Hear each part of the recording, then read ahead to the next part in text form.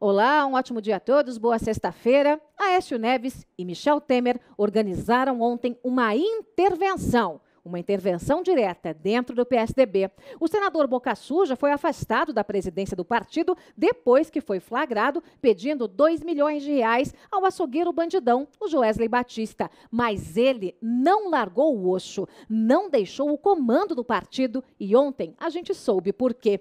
Em um movimento muito rápido, Aécio reassumiu a presidência, destituiu o interino Tarso Gereissati e nomeou o camarada Alberto Goldman para cumprir sua suas ordens de atual imperador do PSDB, de quebra, deu um cala-boca, pelo menos temporário, nos tucanos que pregam uma debandada do governo de Michel Temer. Essa jogada toda aconteceu um dia depois de Tasso Gereissati oficializar a candidatura dele à presidência da legenda, numa disputa com Marconi Perillo, que é o candidato do Aécio. Goldman comandará o PSDB até a convenção nacional marcada para o dia 9 de dezembro. Essa manobra pegou boa parte dos tucanos de surpresa. Aécio Neves, que afundou a própria história, agora insiste em terminar de afundar a história do PSDB. Na prática, o partido de hoje virou um puxadinho da malandragem de Aécio. Ele carimbou o PSDB com a marca definitiva da delinquência.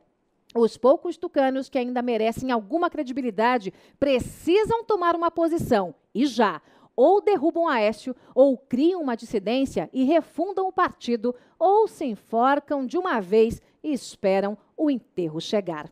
Joyce Hasselman para o Jornal da Manhã.